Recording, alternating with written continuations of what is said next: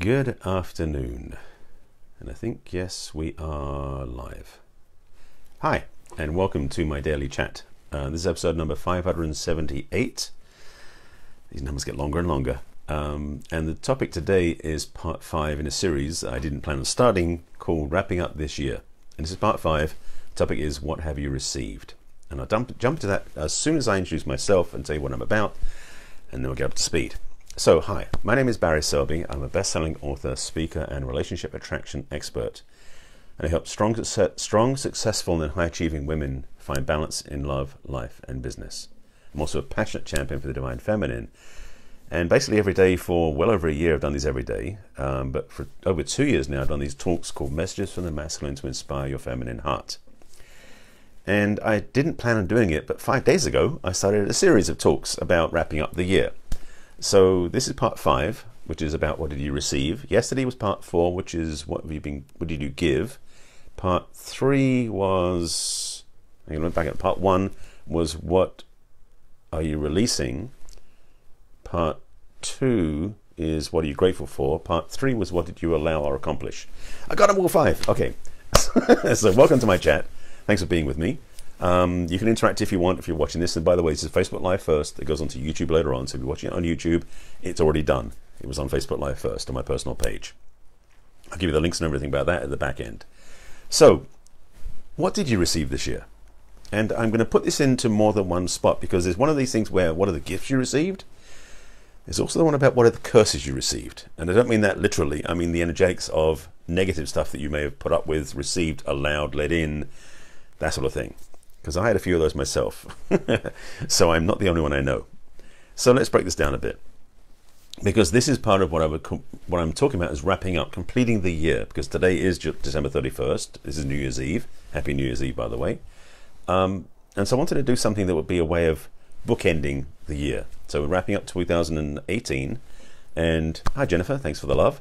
Um, sharing about some things that you can maybe change and rewire because it just to say, well, what do you receive this year is like, so what? But if you receive things you didn't want, how can you do that less next year or erase completely? And if you go receive things you did want, how can you do more of that next year?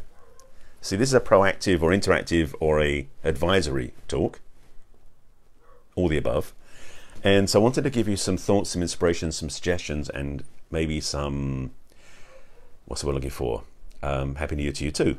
Um, moving forward. Bookend, bookending is freeing energy. Yes, Mary, exactly. Thank you for that phrasing. I like that. Hi, Rebecca. Wow, see all these people here. It's nice to have you in my broadcast. Um, yes, bookending in a way is freeing energy. This is completion of 2018.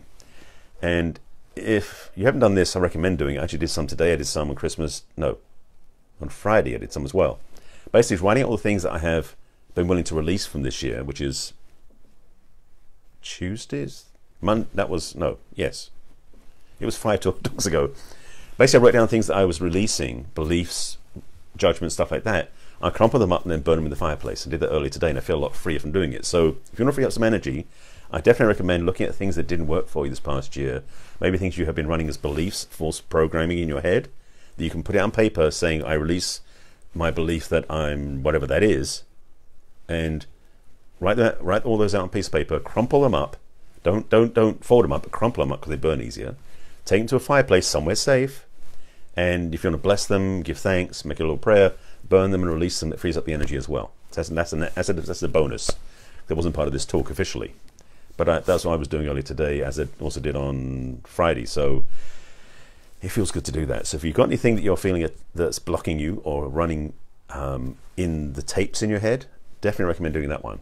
I thought I suggested that one on my on part one, but if I didn't, consider this a PS for part one which is about what you released. So, back to receiving. Again, again, there's the thing about receiving is that we don't always have control over what it is. Now, if you're someone who's looking at relationships, and I'm going to put this piece out there one way for a moment. If you're a woman watching this, and it seems like most of the people watching this are women at the moment, I would speak to this first of all is that, ladies, your power is in your ability to receive. And, let me be clear, you have the ability to qualify that. So you're not blindly going, give me everything and I'll take it all on. Because some women do that. Not recommended. But the truth is, the feminine in women, particularly, it's also in men, but the feminine in women is a receptive energy. In fact, that's really where the spiritual principle resides in the feminine. Yes, I just outed men on this one. so the masculine energy is more giving, pushing, directing. If you in sexual energy, usually men are giving to women in terms of their their um, penetrating. That's the word. And this is uh, that's from David Deida's work. He talks about the energy of masculine energy penetrates the feminine energy. Now, that's physical and also energetic. But I wanted to give you that thought for a moment and be that blunt because I want to make sure that you ladies understand, the ladies watching in particular, that your power is in the ability to receive more than you know you can, with the caveat that you choose. Because again, some women, I know quite a few of them in fact, who have received things they didn't want from relationships that are abusive to um, being fired from jobs they didn't deserve being fired from to losing out on advantage in life because they didn't know how to receive in a higher level. So the thing about this is, and I want to make sure you get this point, ladies especially, receiving is not a blind, no choice experience. You're welcome, Susan. And I see you in broadcast. Hi, Happy New Year to you too. Receiving is actually a tunable skill. Yes, receiving is a skill. Because what happens in a way is that, I'm just seeing an analogy dropping into my awareness, is if you know, um, there's, an, oh, there's an analogy. Okay, great. If you know what, if you know, if you've ever used polarized sunglasses or polarized windows, you may be aware of the fact that polarization puts light into a certain uh, direction. Yes, receiving at a higher level. Yes, Mary. I'm breaking that down for you. So here, here, here, we, here goes. I'm giving you an analogy. So, polarized sunglasses. Yes, what's that got to do with this? You're wondering. Let me explain. When you use polarized sunglasses, what they do is they limit how much light comes through. Not just like dark glasses, but they actually limit the, the angles. Let me say this way. Light comes at you from all sorts of different angles and directions of stuff. Polarization is putting it into one plane. So when you look at when you're using polarized sunglasses and you look at um, like a, a, swimming pool, suddenly the reflection on the surface doesn't hit you. You don't see it. You actually see it into the water. That's the power of polarization. Now, receiving is a similar skill. You can refine what you're open to because a lot of it, what it's tied to, and I was talking about this earlier when I was burning stuff up, is the beliefs you run. You receive at a higher level, to answer your question, Mary, by getting clear about your beliefs. Because if you believe that you don't deserve the best, you receive less than that.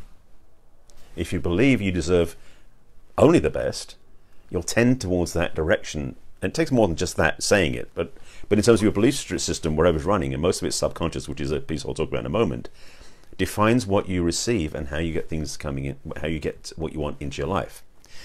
And here's the thing: this is one of the painful lessons. If you look back at your life, say this last year, and you see things you didn't like showing up in your life, and this is going to sound painful to ask this question, but I'm going to invite you to reflect on maybe how that might have showed up. And particularly in the area of relationships, because this is my speciality. If you're in a relationship with a man, ladies, and this, this works for, women, for the other way around too, but ladies, if you're in a relationship with a man who doesn't respect you, is it possible that you carry some sort of belief inside, maybe even not conscious but subconscious, that you don't respect yourself? This is the thing about, about receiving we're generally going to be mirroring inside versus outside. So if your internal belief structure is set up a certain way, you'll generally be reflected in the way you experience life on the outside. Now, this is one of those challenging things for a lot of people to go, no, no, no, no, I'm, I'm not responsible for this. This is the thing. I didn't plan to go this way, but we're going to go here first. I'll come back to the other side, I hope. We'll see where this goes. But this is the thing. Your, the way that one of my teachers put it is your outer experience is a reflection of inner reality, meaning that what you experience out in the world is a mirror of what you've been running inside as a tape or a programming or belief structure. So if your relationships aren't what you want, then I suggest from what this teaching is based upon, and this is the deep work, so I'm not just giving you saying, oh, it's no problem, it's easy. This is the work I do with my clients, is recognizing that if you are running, oh, sorry, if you have an experience of relationships out in the world that are abandoning or neglecting or abusing or addictive or whatever those are, it ties to some sort of belief inside that's encouraging that. This is what I mean about like polarized sunglasses. Polarization lets light in at a certain frequency or a certain way. If you look at um, prisms, not prisms, prisms, light prisms, when you shine light through them, it goes into a broad spectrum. But the thing is, if you use filters, you only see different colors of light. The same thing is true for your belief structures because you run beliefs that are in a certain frequency, like a certain color of light. That's what you're going to see in the world. Now, part of it, yeah, here we go. Part of it is going to be what it is that you're seeing is based on what you believe. So even though other things might show up, you don't actually see them as so to speak because they're not fitting into your, your actual laser focus. Let me throw it this way at you. A long time ago, I learned this, learned this as well. There's a part of the brain in the lower lizard part of the brain called the reticular, reticular activating system. RAT for short, RAT. Sorry, RAS, excuse me, RAS. So reticular, reticular activating system. It's a subconscious um, harmonic detection. And it's useful because it runs automatically, meaning that, for example, if you're a mother with a child, when the baby was born, you probably had an acute sensitivity to when they cried, even though they might be in two rooms down the hall. But you didn't even know her, her fire engine go by sometimes, because that's the reticular, uh, reticular, such a hard thing to say, reticular activating system's frequency was set to baby is the most, prior, most important priority. So for a mother, this, this hopefully makes sense to you. Now, what's it going to do with attracting?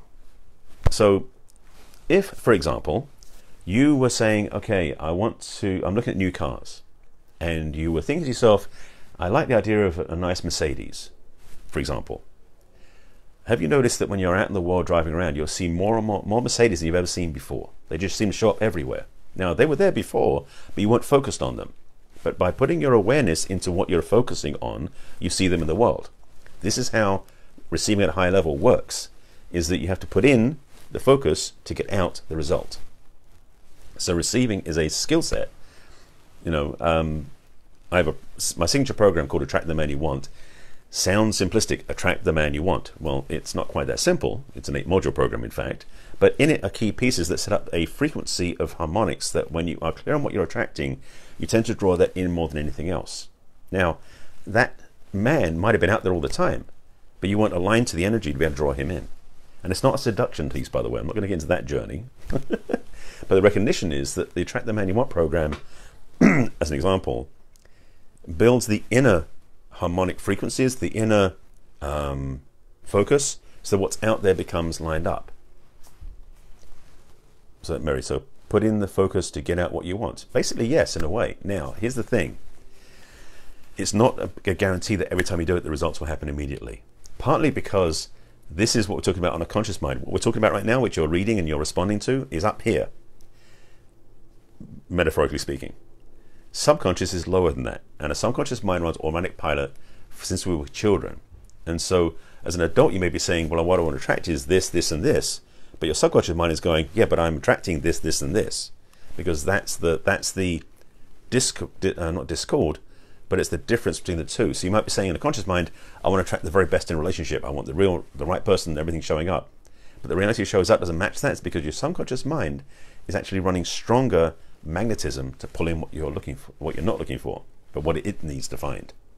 I hope they're making, making some sense. This is a nuanced piece, and I didn't plan on getting here, but that's where I'm going with it.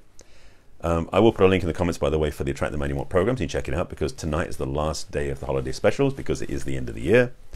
Um, got, it's a massive discount, by the way, um, and I hate doing that because I'm, you know, I don't want to do that next year because the discounting my work is feels cheap, but it's a good offer. So I'll put the, the, the links afterwards so you can check it out for yourself. But the thing about this piece, I want to talk about it more. So what was that Mary saying? So you have to be on a similar frequency you need to be on a certain level to get a man who will match your frequency, not higher. That's the thing. Is it is it and it's it is that's the simplistic way of saying it. But it's not just okay. I'll just tune in the right frequency. You'll get get the sort of person you want to be with. It is more than that. As I mentioned, the subconscious in my coaching work with my clients, the biggest piece I work on is what is it? That, what are the tapes that you're running automatically you're not even aware of? So the first thing is bringing awareness to what's not conscious initially, and then start changing it. So that's the frequency shifting that goes on. But when you're getting clear about what you want to attract and bringing in, and you're bring and you're receiving this year, you have an you have a perfect documentation of what's working, what's not working, this past year. As you look back at this past year, if things showed up that you wanted and it was great, you're in alignment. If you, things showed up this year that weren't in alignment with what you wanted, or things that showed up that you didn't want, and they were like, no, I don't want that, then you're not in alignment. So basically, 2018 can be a scorecard in a way.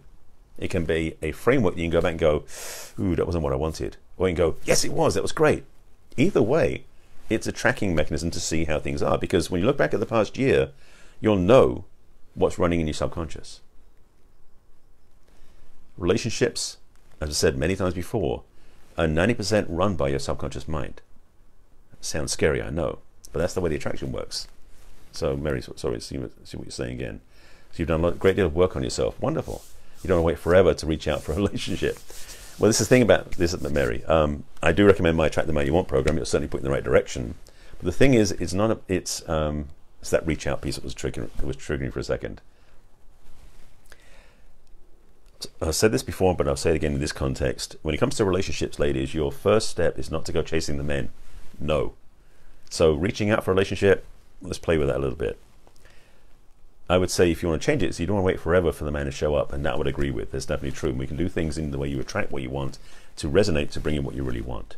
But the thing is that chasing the men, ladies, do not do that, please. It's not alignment to your feminine. The feminine's power, and it is a power, is to bring in what you want with great um, magnetic pull and intentional focus. So it's those two pieces together that give you what you want. It's clarity of what you're looking for, and then the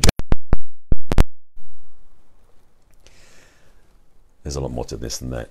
Um, but I want to give you the these, these are the cliff notes in a way, give you the sense of what it's about. And so, my question to you is: looking back at this past year,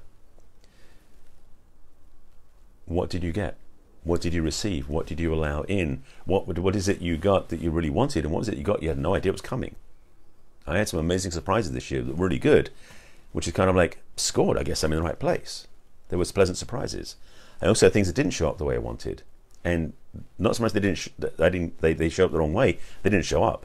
So I know that in parts of me I'm still working on and I'm changing some my own internal wiring, so that, that next year things will show up the way I want them to. It's a choice. We all have that. And bottom line, just so you know, I'm not perfect at this. One, because I'm in the masculine, not in the feminine, which is harder for me to do the attraction work. But secondly, I'm also I'm, I'm dancing on both sides. And again, as I said at the beginning, both men and women carry both masculine and feminine. It's not one or the other. But women are generally more um, what's the word? Facile. That's, that's kind of a word. I facilitate. Women are more aligned to their feminine naturally.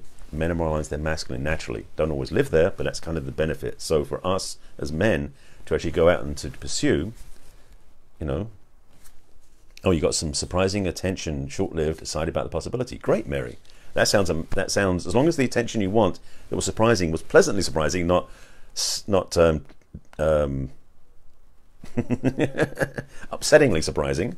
So as long as it was good, then then that's wonderful. I'm glad to hear it. So thank you, Mary, for sharing that. Um, anybody else looking for, for, love in all the wrong places? I do have ways of helping you with that, by the way. Um, so receiving, because a feminine skill draws things in. If you're getting what you want, awesome. If you're not getting what you don't want, happy, good, Mary. I'm glad to hear that. If you're getting what you, if you're getting things that you don't want, then you want to look at your reflection again. Look at 2018 as a um, scorecard. How did life show up for you in relationship, in business, in money, in health, in um, spirituality, in social life, all these different areas of your life? Can you look back at your life and see, yes, things worked out? Great, do more of that. If it didn't work out, don't do that anymore. It's kind of like the the um, I'm trying to remember where the quote comes from. It's like do more of what works and do less of what doesn't. Simple as that. I recommend what I recommend in my programs because they'll help you get on track more easily. And again, I'll put the links in the comments so you know what those are because this, this is the last day of my offers. And um, I think that really is it. I mean, you've got my you've got my point. I think I made the point clearly. Again, this is part five. Wasn't planned on a five-part series called "Wrapping Up the Year." I'll put the links to part one through four in the comments below, um, which will give you some review to look at as well. I'll also put the links in the comments for my Attract the Man You Want program and my coaching offer so you can reach out to me for support. And since receiving is a good skill to have, I recommend the self love practice as well because right now you can practice more self love easily, effortlessly, even if you're not in a relationship. So I'll put that in the comments as well. Um, tomorrow is January 1st, 2019. So Happy New Year, by the way. And I will be doing a Facebook Live as usual, 5 p.m. Pacific time. that's going to be about what you want to set up for the new year. So join me tomorrow for that, 5 p.m. Pacific time. I'm going to start planting some seeds that will grow into mighty oaks in 2019, and I invite you to join me for that. Um, replays. This is my Facebook Live on my personal page first, and thank you for all the interaction. I appreciate that, Mary, and all the other people who joined in. This will be on my business page um, afterwards for, for archive, which is barryselby.author, facebook.com forward slash barryselby.author. You can find them there. Um, if you're watching this on YouTube, congratulations, you found me on YouTube. Please subscribe to my channel. Um, YouTube, my channel is Barry Selby, and my playlist on there is Messages from the Masculine, where these all live, and that's all of them together. So you can search through those, find the ones that match, resonate for you, the titles that trigger you or inspire you, or some other way and you want to look at those. Um, and after that, I'm building out my podcast, which is also called Messages from the Masculine on iTunes. You're welcome, Jennifer. Thanks for watching. Thanks for being with me. And and take advantage of my offers. They last till tonight, then they're done. Um, yeah, sorry. Podcast is Messages to the Masculine. You can subscribe to that if you wish to as well, and download the audios and listen to them when you're traveling or doing other things. Any questions, comments about this broadcast, please put them in the comments below and I'll respond when I sign off, um, either on Facebook or on YouTube. And I'll be back in tomorrow on New Year's Day to do a little chat about how you want to set up 2019. I appreciate you being with me and thanks for the interaction. And I wish you a beautiful, pleasant evening. Whatever you're doing to celebrate or to be quiet or to hang out with friends or just to watch movies, whatever you do, enjoy your New Year's Eve. And I'll see you in the new year tomorrow. Take care. Bye. You look for my offers. Oh, yes. Thank you, Mary. I'll put them in the comments below this. You'll see them in about within half an hour. All right? Thank you for being with me. And again, take care of yourselves. I'll see you again tomorrow. Bye.